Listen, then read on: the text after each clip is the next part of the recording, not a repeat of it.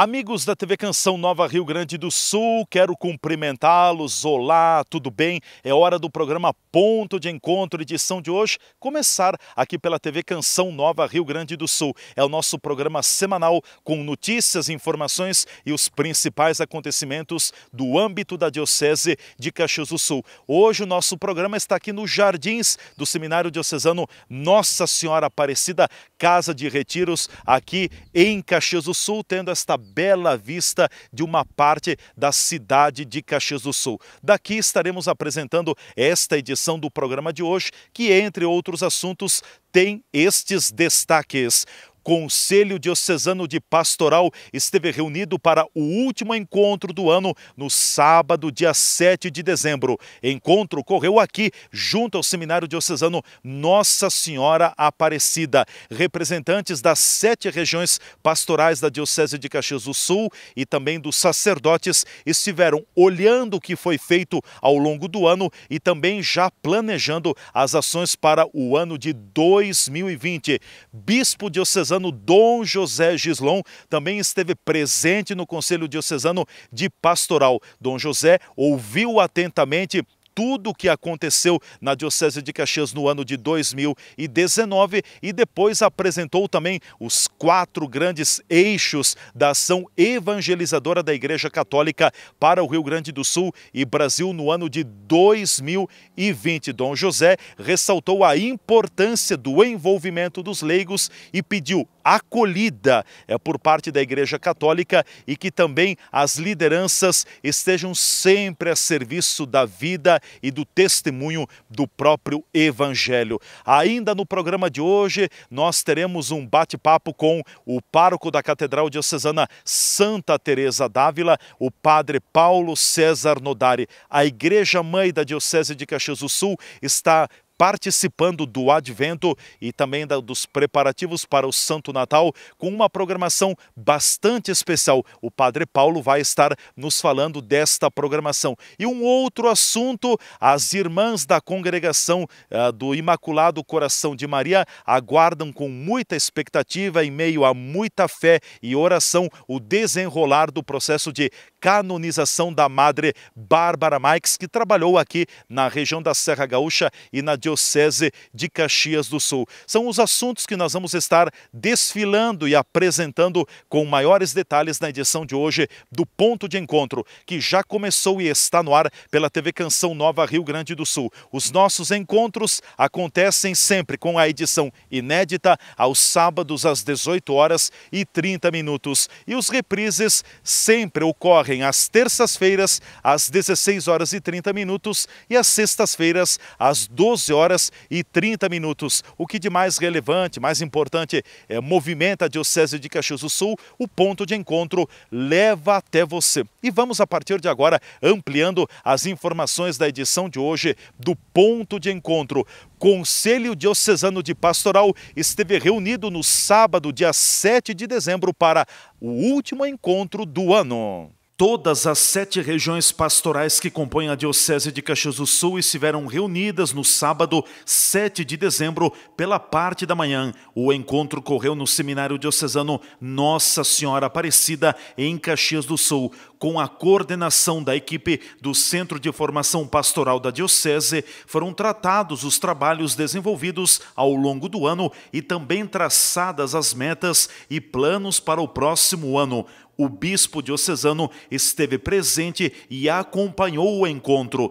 Dom José Gislon encerrou a manhã de trabalhos apresentando os quatro grandes eixos da ação evangelizadora da Igreja Católica no Brasil e no Rio Grande do Sul. As regiões pastorais têm papel fundamental nas mais diversas comunidades que integram a Diocese de Caxias do Sul. O Conselho Diocesano sempre é importante porque é, retrata a vida das nossas, da toda a nossa diocese através das nossas regiões de pastoral, bem como os movimentos, as comissões, enfim, tudo aquilo que é uh, que faz a vida da nossa diocese. E para sentar e avaliar, primeiro é preciso passar por todas as instâncias uh, das nossas uh, regiões de pastoral para chegar aqui numa partilha e dessa partilha retomar então a vida pastoral da diocese. Então, o nosso objetivo justamente foi este, porque para o próximo ano, ah, como Diocese de Caxias do Sul, nós caminharemos para as novas uh, diretrizes da Diocese, à luz da, das, da CNBB, das diretrizes que foram propostas, bem como das propostas realizadas pela, pelo Regional Sul 3, e como Diocese, então chegou o nosso momento também de sentar e olhar com carinho as necessidades e as urgências da Diocese. Foi importante o que cada região pastoral também trouxe de partilha de ações e realidades na formação desse novo caminho para o próximo ano? Sem dúvida, o essencial vem lá das bases, das nossas raízes, porque eh, é nessa partilha que nós fazemos crescer. Então é de suma importância olhar, fazer uma leitura, retomar, não só avaliar, mas também dar um novo impulso para as regiões que, por alguma necessidade, por alguma carência, ou enfim, pelo estilo que a região vive, ela possa também se sentir motivada. O que a gente pode destacar de caminhada produtiva, bonita nesse ano na área pastoral, envolvendo essas comunidades que a senhora destacaria? Eu destaco o, todo, todo o caminho que foi o grande desejo de construir comunidades acolhedoras, formadoras e missionárias. Isso foi essencial. E, inclusive, agora me parece que o caminho novo dentro da iniciação Vida Cristã, que é o projeto do batismo, que esse vai dar um novo elan e vai revolucionar a nossa pastoral na Diocese que é justamente o batismo é aquele que está na dimensão da acolhida, o batismo é aquele que está no preparo, na formação e mais do que nunca batizados enviados então para uma igreja missionária.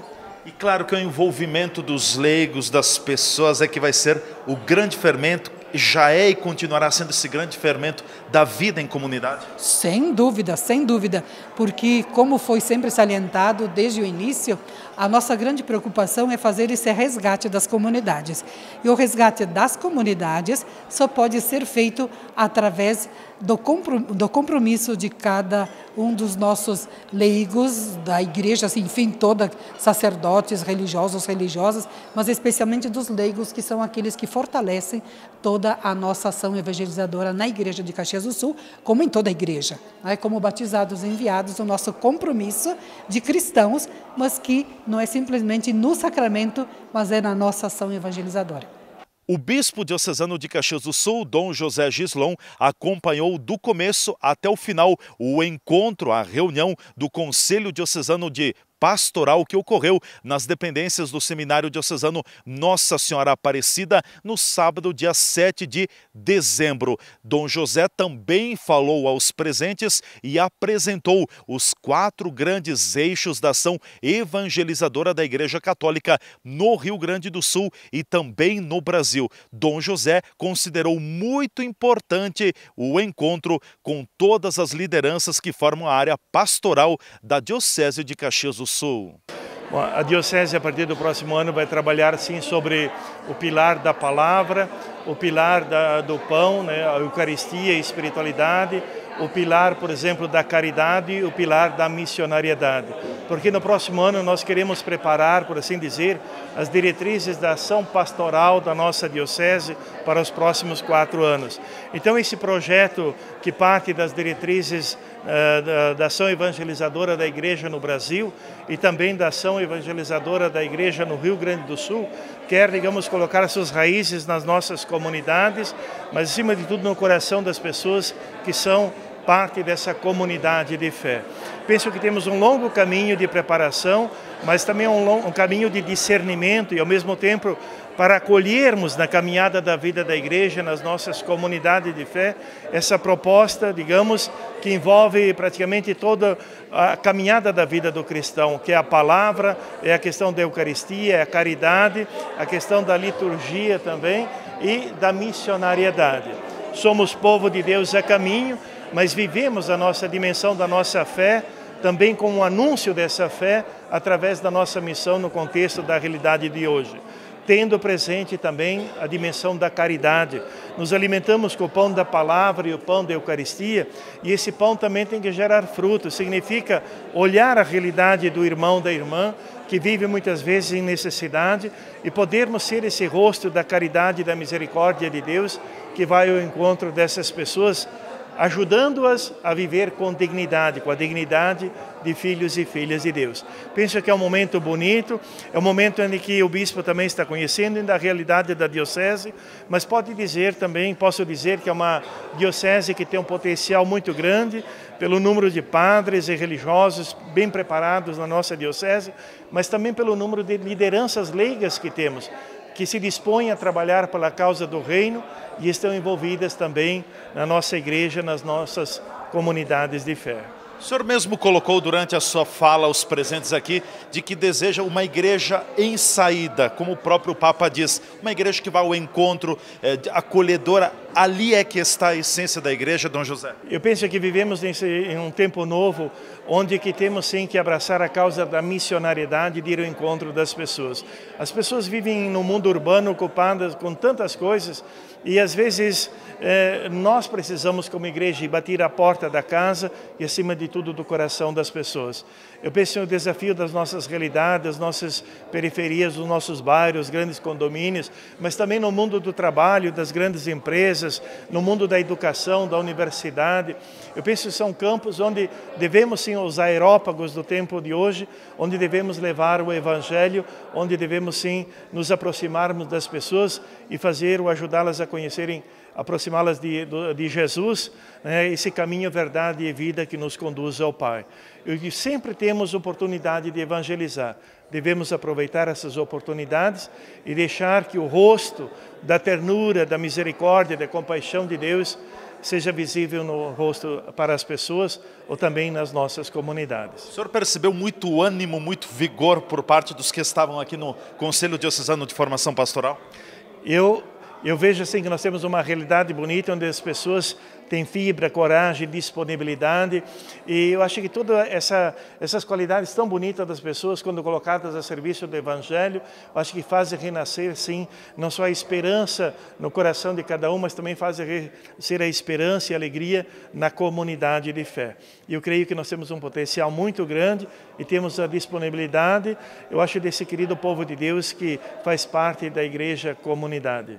O programa Ponto de Encontro, edição de hoje, sendo apresentado diretamente daqui dos Jardins do Seminário Diocesano Nossa Senhora Aparecida de Caxias do Sul e também tendo como pano de fundo a nossa cidade de Caxias do Sul. Nós vamos agora para o nosso intervalo. Em seguida, nós voltaremos trazendo então a programação da Catedral Diocesana Santa Teresa d'Ávila para a celebração do Natal e, enfim, o advento que está acontecendo. E também falaremos do processo de canonização da irmã Madre Bárbara Marques, da congregação das Irmãs do Imaculado Coração de Maria, processo de canonização que foi aberto em outubro pelo bispo diocesano de Caxias do Sul, Dom José Gislon. E a congregação está eh, aguardando com muita expectativa e festeja também todo esse momento de muita fé, de muita oração. Em seguida, a gente volta com o ponto de encontro de hoje hoje.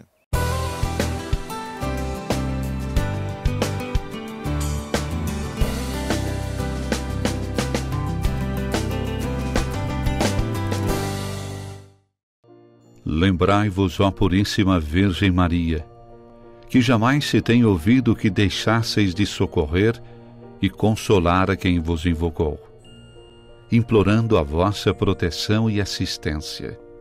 Assim, pois, animado com igual confiança, como a Mãe Amantíssima, ó Virgem das Virgens. A vós recorro, de vós me valho, gemendo sob o peso de meus pecados. Humildemente me prostro a vossos pés. Não rejeiteis as minhas súplicas, ó Virgem de Caravaggio, mas dignai-vos de as ouvir propícia e de me alcançar a graça que vos peço. Amém.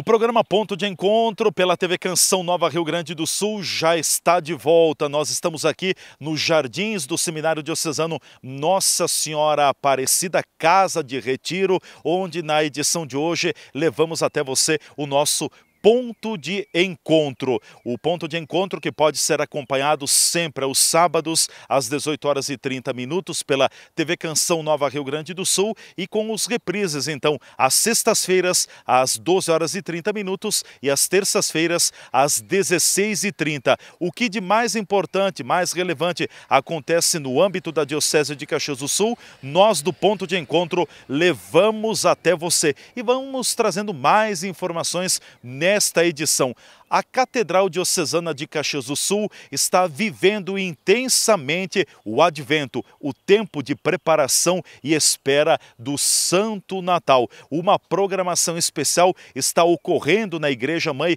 da Diocese de Caxias do Sul para melhor celebrarmos o Natal. O pároco da Catedral Diocesana, Padre Paulo César Nodari, nos conta o que está sendo preparado, enfim, de que forma a Catedral Diocesana também está se preparando preparando nesse período do advento para celebrar o Santo Natal. Leandro, eh, certamente a, a preparação ela inclui também passos e nós queremos oferecer proporcionar às pessoas aqui na Catedral Diocesana, mas também em nível de cidade e região, eh, momentos importantes para nós nos prepararmos. Então, há os símbolos, há também os encontros de família, os encontros dos grupos, temos as guirlandas, os encontros de preparação ao Natal, a celebração penitencial e também, evidentemente, a celebração eucarística. Mas nós, neste ano, pensamos auxiliar as pessoas a se prepararem e sentirem que é um tempo diferente, fazendo os concertos do Advento. Então, nós teremos nos quatro domingos que antecedem o Natal, os quatro domingos do Advento, nós teremos os concertos de Natal. E nós tivemos a feliz e a alegria, manifestação das pessoas em virem e nos auxiliarem. Serão músicas mais com cunho religioso e espiritual, para que 45 minutos antes das nossas celebrações eucarísticas, nestes quatro domingos, sempre às 19 horas, nós possamos também ir entrando em sintonia com o Senhor. Ou seja, nós queremos também oferecer, proporcionar às pessoas para que, sem deixar de estarem presentes neste mundo. Nós precisamos ter os pés no chão. Nós não desviarmos o nosso caminho e focarmos bem para aquilo, ou se quisermos ainda melhor, para aquele que nos conduz à verdadeira vida, que é a preparação para a chegada de Jesus. Ou seja, nós queremos nos preparar também pela música e pela arte, por meio de tantas pessoas que nos auxiliarão, a manifestação da alegria, da esperança, por meio da música e dos concertos do Advento. Sempre nos quatro domingos do Advento, às 18, às 18h45. E sempre tem uma obra. É um quilo de alimentos, é também a bênção do presépio, é também a iluminação que está sendo inaugurada e é também a bênção do menino Jesus. E não esquecer que no final de semana, 14 e 15 de dezembro, nós teremos a coleta da evangelização. Padre Paulo, é importante citarmos também de que o Natal, acima de tudo, ele precisa ser muito preparado. O Natal acontece em família e na família. De que forma nós podemos preparar melhor a nossa família para esse momento especial? Nós precisamos lembrar que a preparação ao Natal, ela inclui um caminho longo, digamos assim.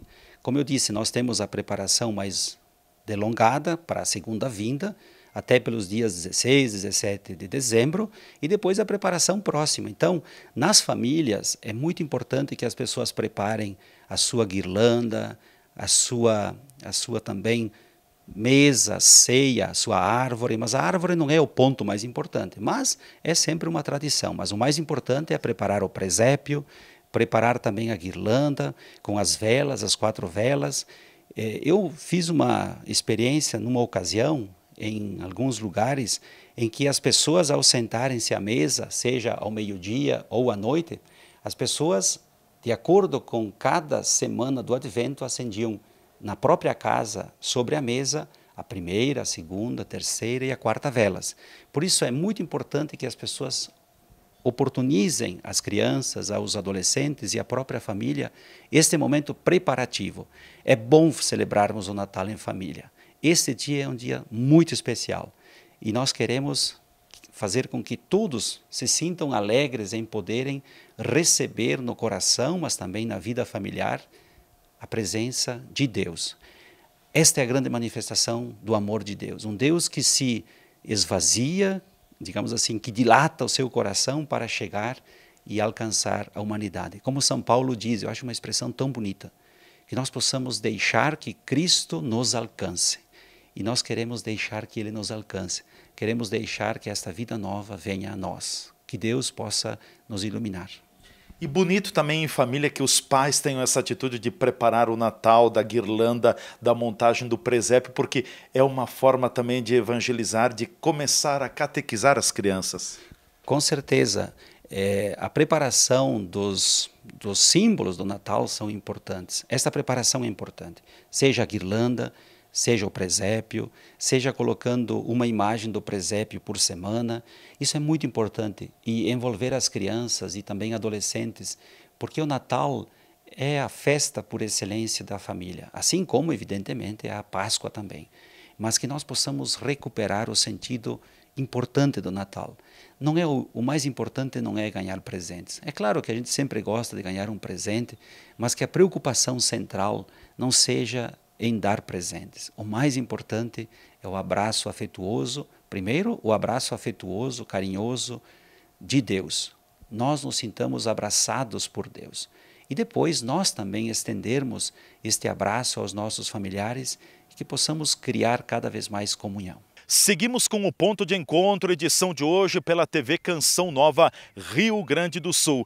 A congregação das Irmãs do Imaculado Coração de Maria aguarda com muita expectativa e em muita oração também o desenrolar do processo de canonização da irmã Madre Bárbara Maix. O processo foi instaurado, instalado aqui na Diocese no mês de outubro pelo bispo diocesano Dom José Gislon se for canonizada, será a primeira santa da nossa região, da região da Serra Gaúcha. A congregação aguarda esse momento e vive também esta fase, esta época, com muita expectativa e, acima de tudo, com júbilo e oração.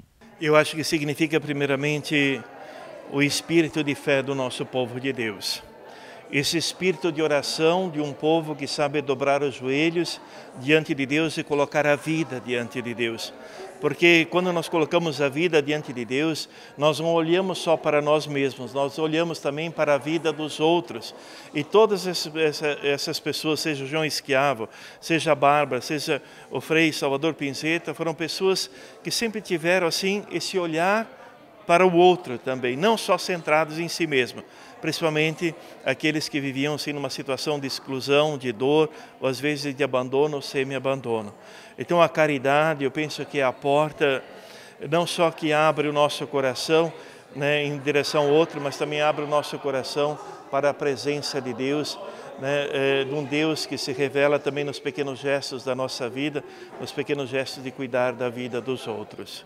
E desta forma nós vamos chegando ao final da edição de hoje do programa Ponto de Encontro pela TV Canção Nova Rio Grande do Sul. Hoje o programa foi apresentado diretamente daqui das dependências dos jardins da Casa de Retiros do Seminário Diocesano Nossa Senhora Aparecida. Esta bela vista para uma parte da cidade de Caxias do Sul e também em meio meio à natureza, ao encontro com Deus, onde a gente também consegue estabelecer esta ligação é, com a espiritualidade. Quero convidar todos vocês para acompanharem aos domingos, às 11 horas da manhã, a Santa Missa transmitida diretamente do Santuário Diocesano de Nossa Senhora de Caravaggio pela TV Canção Nova Rio Grande do Sul. É sempre o nosso momento de muita oração, de encontro com Deus por meio das mãos da Mãe de Caravaggio. Então não perca aos domingos às 11 horas da manhã a missa do Santuário de Caravaggio aqui ao vivo pela TV Canção Nova Rio Grande do Sul. O programa Ponto de Encontro edição de hoje chega ao seu final, agradecendo ao seu prestígio. Muito obrigado por ter acompanhado esta edição. Continue curtindo e acompanhando a nossa programação. A todos, muita fé, muita esperança. Preparemos bem o nosso advento para bem celebrarmos o nosso Natal. Um forte abraço e até o próximo ponto de encontro.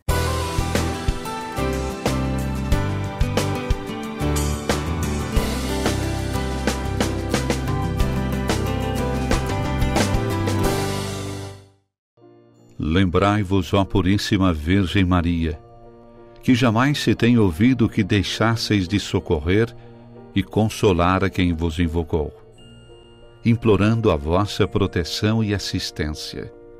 Assim, pois, animado com igual confiança, como a Mãe Amantíssima, ó Virgem das Virgens, a vós recorro, de vós me valho gemendo sob o peso de meus pecados.